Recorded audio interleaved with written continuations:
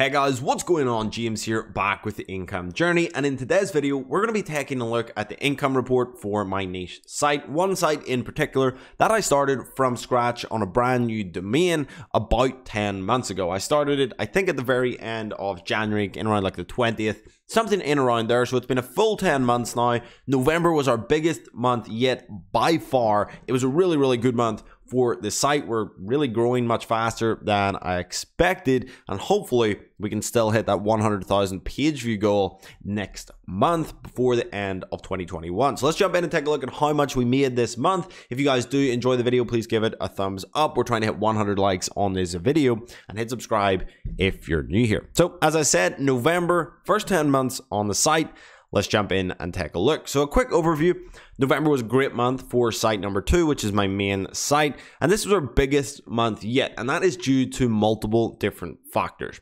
Site three is a site that I purchased kind of a little bit later on, maybe in March or April. It's still sitting flat. It's, you know, kind of a seasonal site that does better in the summer. However, I do kind of want to get rid of it. I'm not focusing on it. I don't like the niche. I think it's uh, a harder niche than the niche that I'm in, and I'd rather spend time in a niche that has much less competition that I can just dominate in versus trying to compete with the big players that already have a lot of authority uh, in the other niche that I purchased. So I've actually submitted that to Motion Invest for evaluation, and depending on what they give me back, uh, I will go ahead and either sell that or maybe just hold it into next year whenever you know the seasonality starts coming back and it starts making some money again. So I'll keep you guys updated with that as well. Let's jump in and take a look at some numbers right here. So this is side two. Last month in October, we did 48,000 views. This month, we did 70,000. That's a growth of 48%. Now, that is a really, really good growth trajectory. If I could hit 48% every month, that would be absolutely amazing. However, there was a couple of timely articles which really helped to contribute to a lot of this growth. And while I expect to grow again next month and continue the upward trajectory in traffic, uh, it may not go up as much, right? It may kind of hollow out a little bit, level out a little bit because some of them articles just won't do as well next month. And we'll get a little bit deeper into that in a second. But overall, very happy with the month, and I still feel there is the opportunity to get from 70,000 to 100,000 page views uh, this month, which will again be a really, really good jump. It would probably be about the same, about a 50% jump in traffic. Um, so, yeah, looking forward to see what happens this month. This is the Search Console, so we went from 33,000 clicks to 50,000 clicks from Google this month. Really, really good numbers there. Our click through rate went from 2.4 to 2.8. Very, very good. And our average position stayed at 12, which is fine as we're adding more and more articles to the site. 1.89 million impressions, nearly getting 2 million impressions a month now from Google, completely free, which is kind of insane to me looking back a year ago. I never would have thought of that. I was a paid traffic guy. I paid for all my traffic pretty much from Facebook. So it's really cool to see that we're getting like 50,000 clicks a month from Google completely free. Like on, you know, on Facebook, that could cost you 52,000 pounds a month. You know, that sort of money for that amount of clicks. So pretty insane uh, numbers there for me. But again, I want to be at a million page views a month by this time next year. So a lot of work to do, but I think it's definitely doable. So right here, you can see the kind of articles and the progression over the last three months. So September, October, November here, you can see we were on, on, our top article hitting 1700, 2800. And then here in November, we have two massive articles, 6,000 clicks from a single article and 5,000 clicks from a single article. Now, there are definitely two articles that exploded and will not sustain that level of traffic into next month. One was due to a news event. This news event triggered a lot of searches for one specific article on my site. A lot of people hit that article. Uh, there was something happened where people wanted to do something, and I had a tutorial on how to do that. And a lot of people went read that article. Now it's still getting good traffic, but it will not have that massive spike that it did. And if we actually go back here, you can see like this particular days where we had massive spikes right here at the start of November, and then there's a couple here. Then we had these two big days right here. I think that was the one specific news event there. Uh, and then traffic kind of trended down a little bit for a while, which obviously was going to happen as that news event died out.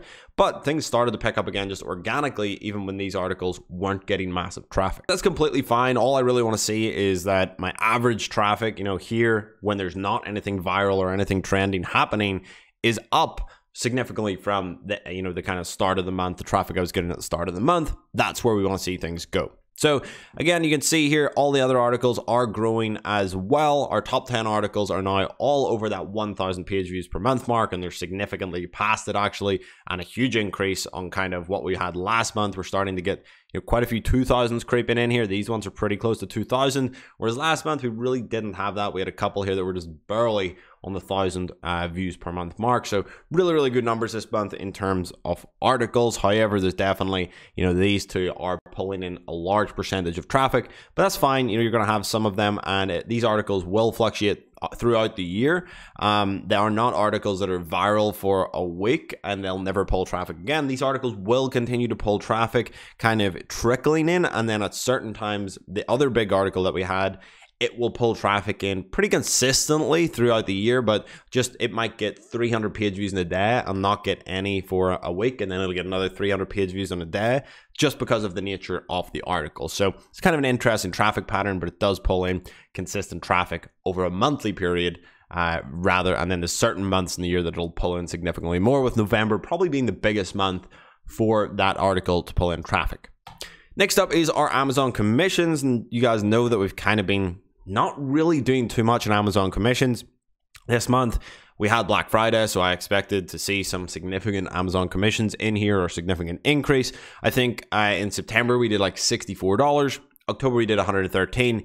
Here in November we did 234. So we're moving up. I mean, it wasn't anything massive or crazy. You can definitely see you know the tail end here, Black Friday, Cyber Monday. We definitely did some more revenue than normal and you know the normal days of the month, but it pulls in consistent traffic. Our Amazon commissions are they're coming in, it adds up, you know, it makes a difference. For this site in particular, $234 this month, not too shabby. Right here for our Ezoic revenue. This is our main revenue generator on the site. You can see here we did nearly $1,600 this month with a $22 EPMV. Now, this is about a $6 EPMV increase this month, and I think that's probably just due to Q4. Didn't make any placeholder adjustments, didn't add any placeholders or anything like that. So I think that's just Q4. We're getting that boost, which is really, really nice. It's going to be disappointing to see that disappear uh, as we go into kind of January. However, I'm starting to think that it's nearly about time I start applying for maybe Mediavine or AdThrive. I think they're about a 50,000 page view requirement. We're at 70,000. The only thing I want to do, I've read that some sites, you know, get rejected even if they have the page views. So what I want to do is I want to kind of do an overhaul of my site in terms of the homepage and stuff like that, just to make things look more professional. Right now, it's just a blog roll. You know, every time I, I make a post, it just appears at the top, and that's not a great homepage. It doesn't look professional. I've heard Mediavine wants you to look kind of have like a, a, really, really professional looking blog. So I'm going to do that before I even bother applying. I don't want to get rejected. So we're going to do that and give ourselves the best chance at getting, uh, you know, accepted into Mediavine or one of those. And hopefully that gives us an EPMV increase. I've seen some people uh, suggest they get about a 40% boost with something like Mediavine. So hopefully that happens. If we do, then maybe we can even sustain our current EPMV into January, which would be really, really cool. Here we had some like huge days where we had $29, $30 EPMVs. Obviously, this is in around that Black Friday weekend, $32 here on that Black Friday. We had an $84 day combined with our commissions from Amazon. We had a $100 day, which is really, really nice. So that's kind of, you know, the growth here. Absolutely huge. Obviously, this EPMV, uh, obviously the revenue growth. So last month, the revenue was about $750 from Ezoic. So we more than doubled it this month. And that's a combination of increased traffic and increased EPMV. So there's kind of two factors there, giving us a force multiplier, uh, which allowed us to generate more than a 100% increase in revenue. Hopefully we can sustain that this month. I'm not sure if we'll be able to hit you know, $1,600 in revenue in December. Obviously, EPMVs should stay, hoping that it stays in around this $22 mark. Uh, we have noticed a drop off, definitely. I think currently doing about $47 a day. Uh, today's December 4th, so we'll see how things pan out over the month, but hopefully we can hit similar numbers this month as well.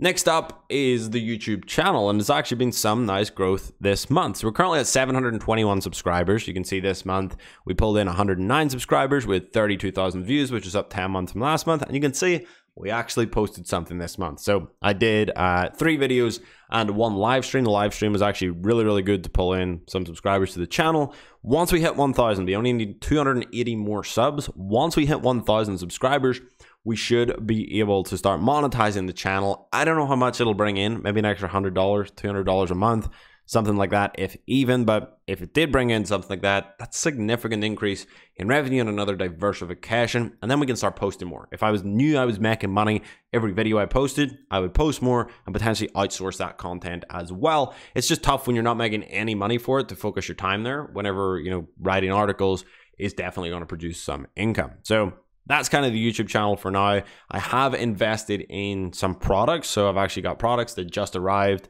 uh, I'm just home. I was away for a couple of days, but whenever I was away, these products have arrived. I'm going to make a video that I think, you know, it, it cost me a little bit to make, but I think it could pull in a lot of traffic and a lot of subscribers and potentially push us over that $1,000 mark. So I'm going to put a lot of effort into that video, try and drive subscribers to the channel, and then, you know, hopefully we can then start monetizing and diversify a little bit. So on to articles on the site. In November, I pushed out 42, which was a little disappointing, but it was a, a busy month. I was running a marathon at the start of the month in Barcelona. I was away uh, for a few days there, so I was running that, recovering.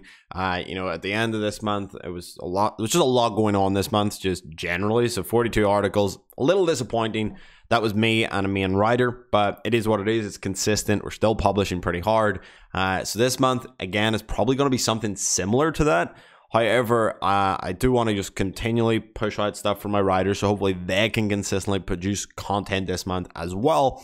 But what I'm going to do this month, me, rather than writing a lot of articles, I'll still write a few, is focus on going through and improving a lot of the existing content. So going through, I haven't really done this since I started the blog. Gonna go through the stuff that's ranking positions three to five, try and update it, improve that content to push it up uh, into that one to two spot, and that can give you a significant boost in traffic. And go after, uh, definitely go after some more snippets as well. So I'm gonna be trying to do that this month and updating anything that needs updated for 2022, so that I don't have to do that in January because in January I really want to push content. I want to push really, really hard. Um, you know, after Christmas, after all of that stuff is done, then no parties, anything like that anymore. January, we can hit the you know hit the hit the road hard, start pushing out content, pushing really, really hard on this to try and scale this you know business massively. Start adding more sites as well. We have a couple of sites ready to go. Uh, they just need to start producing content for them. So there's a lot going on, and I really want to have a big content push January, February, and March to try and, you know, one, just have a couple of sites on the back burner that are going to grow throughout that year and just get at least 30 articles on two to three sites in January. Have them kind of cook in there, let them roll. We'll see which ones take off, which ones don't. And then we'll go after the ones that are good opportunities while still piling on a ton of content on this site that we know is working. So that's kind of the plan. Uh, I'll maybe do a full video on our plan moving forward in 2022 with this uh, kind of business here and see how, how it does. Three, I'm not even going to talk about in this video. It did like a $100 this month. It's kind of just sitting pretty, you know, flat on traffic wise. Again, seasonal, not putting any work into it. That's kind of the update on it. That's really all I've got to say. Um, I'm going to upload it again to Motion Invest. Hopefully, if they come back with a reasonable offer, it'll either get sold in the marketplace or I'll just take an offer directly from them. And then I'll probably just push that money into that content push for for January. So that's pretty much the plan with site three. Let's take a look at the spreadsheet here, just at a few other numbers uh, that we can we can take a look at. So things are starting to you know really start to grow here. I like looking at the little charts. I like to see this go up. It will make me a little bit you know kind of down in the dumps if if this chart stops going up every month it goes up. That's rule number one is this goes up every month. So the revenue is probably going to be tough to match, you know, in, in December and January here uh, with the EPMV drop in January and obviously December here. I don't know if we can just sustain what we did in November, but we'll see. Hopefully traffic will grow and we will be able to, to keep pushing it. But let's take a look at traffic because it's more, traffic's a better number to look at to see progress because obviously there's just you know, this huge, huge increase in ad rates here in the last three months, so you can't really compare that to other months in the year. Once you have a big enough data set, you can look at year over year numbers, which is going to give you a much better gauge, but we don't have that yet because obviously we've only been doing this for a year. So next year we'll be able to look at that. We'll be able to look at January compared to January, February compared to February. And even still, they're going to look really crazy because these months had nothing. But when it comes to November next year, we'll be able to compare and hopefully we're making ten, twenty thousand dollars a month uh, next year. That's the plan. That's where we want to be, but we'll see how that goes. So this is revenue. Let's take a look uh, at some other numbers here, such as page views. We have 80, almost 80,000 page views, 70,000 here. You can see again, just that ramp up. It's not like a hockey stick growth. I mean, it's nice, but it's it's consistent. It's just every month chipping away. We're growing, growing, growing, growing, which is really, really cool. And let's take a look at actual profit, right? Profit on the site because I'm investing in content. Not every like we're looking at revenue numbers, and that seems to be a thing that people share in this business. Uh, you know, even more than any anything else, because it kind of makes sense because you can pretend you can pretty much sell your site based on revenue. There's obviously some costs have to come out of that, but most places will allow you to exclude your kind of content costs from your valuation, right? So if you're making 2000 a month, you pay 200 in, you know, other expenses, and then you pay 800 for content, a site or you know a brokerage will allow you some of the time to kind of take away that 800 and leave you with $1800 profit and you can base your multiple around that and then you can sell. So that's kind of i think why people talk about it. But let's take a look at profit anyway just so you guys can see like investment wise could you do this? Because i've invested nothing in this website really in terms of like upfront investment. You can see here the most we ever went negative here was $107 in that month, but we profit a little here and here, even in them first few months, minus 76 here in April. But even this month, with our content production costs, we still made a profit of over $1,000. So again, not gonna buy you a mansion or Lamborghini or even allow you to probably live for a month if you're in, you know, a first world country. But it's nice to see that growth. Last month we had $331. We three times profit. This month really, really nice. But we're starting to see some consistency and growth here in profit as well as revenue. Uh, so I'm really liking where the numbers are going. I'm liking where things are headed uh, with this, and hopefully you guys enjoy this. Let me know if you want to see more information around this because you know I built this up. It was pretty boring for the last nine months. Things are now starting to get to a point where we can really you know see some growth, see things doing well, and hopefully you know grow everyone I've spoke to says it's much easier getting from $1,000 to 10,000 than it is getting from zero to a thousand. And I hope they're right. So next goal is, I think $5,000 a month in profit is like a good goal for the site because that's pretty much, you know, what people can live on. That's a good wage, right? $60,000 a year.